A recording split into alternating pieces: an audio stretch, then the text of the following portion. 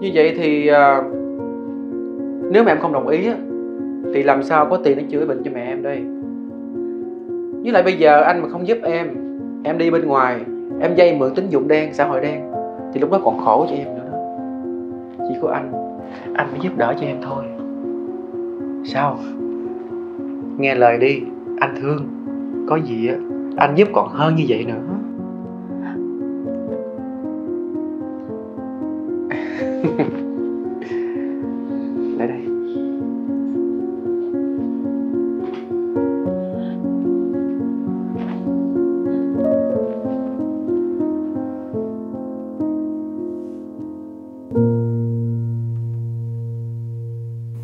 Vô đi em yêu.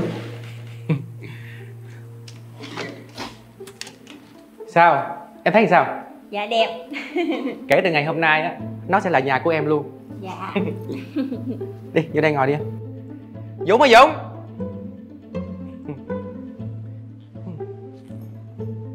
Dũng ơi. Ơ. Ờ à cái gì mày? Chào chị hai mày đi Nó là Dũng. Em ruột của anh. Chị chào em. Kể từ bây giờ mình là người nhà của nhau rồi. Có Ừ. gì em giúp đỡ cho chị nha. Cái thằng này giúp đỡ được gì em ơi? Suốt ngày chỉ biết ăn bám anh thôi à.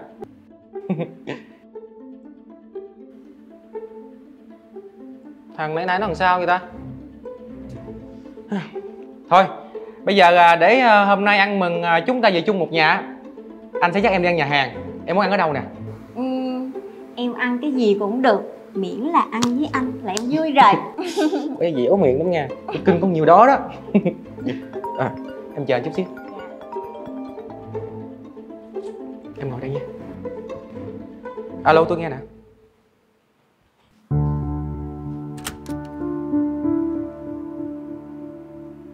Tại sao em làm như vậy? Em có nỗi khổ riêng mà. Nỗi khổ cái gì quá ra em chia tay anh là vì em tìm được đại gia. Mà không ngờ đại gia đó chính là anh của anh. Tại vì mẹ em bị bệnh Em phải cần tiền để chữa bệnh cho mẹ em Nên là em mới cắn răng cặp kè với ổng. Vì sao em không nói cho anh biết? Anh cũng có thể cho em tiền mà. Vô ích thôi. Em nói cho anh nghe một bí mật. Em đã từng có thai với anh Nhưng mà chính ổng đã ép em Phải phá cái thai đi. Cái gì? Hắn bắt em phá thai con của anh. Ổng còn nói á Tất cả những gì anh có Đều là của ổng cho hết. Ngay cả em là người yêu của anh Ổng cũng muốn lấy luôn. Hắn dám nói như vậy hả? Hắn ta quên chính anh mới là người xây dựng cơ ngơi cho hắn. Ổng muốn chiếm đoạt em là để dằn mặt anh á Ổng còn nói là để cho anh biết Ai mới là chủ của ngôi nhà này. Để suốt đời Anh phải quỳ gối dưới chân của ổng tôi coi anh như anh mà anh lại xem tôi như một con chó. Bây giờ mình phải làm gì đây anh? Em yêu anh lắm Em không có muốn phục vụ cho ổng đâu. Em yên tâm đi tất cả những gì thuộc về anh thì nó sẽ là của anh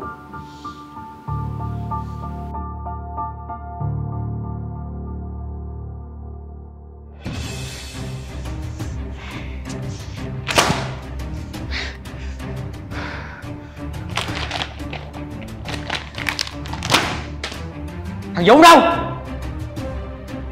Dũng!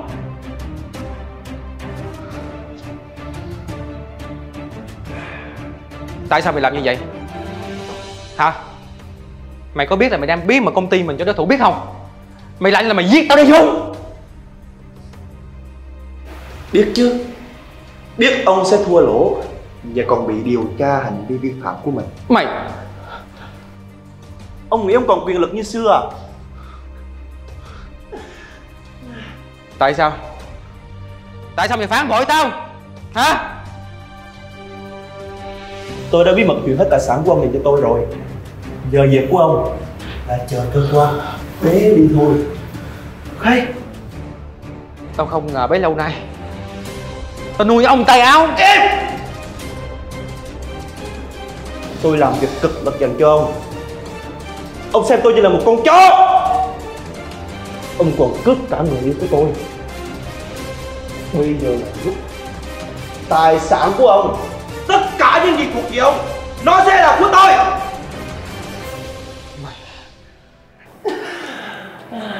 Đáng đời ông lắm. Đây là quả báo mà ông phải gánh đó. Cái con đàn bà này Thì ra bao nhiêu lâu nay Mày vô đây phá hoại gia đình của tao đúng không? Anh ơi Anh ra ngoài đợi em chút nha. Em có chuyện muốn nói với ổng. Rồi sau đó mình sẽ cao chạy xa bay. Ok Vậy em đợi anh nha Dạ Mày còn gì để nói với tao nữa Ông có còn nhớ cô gái này không? Ngày xưa ông ruồng bỏ tôi Ông có nhớ không? Cô Tôi đã phẫu thuật thẩm mỹ Để quay về đây trả thù ông Và bây giờ Chính em trai của ông phản bội ông Ông có thấy thú vị không?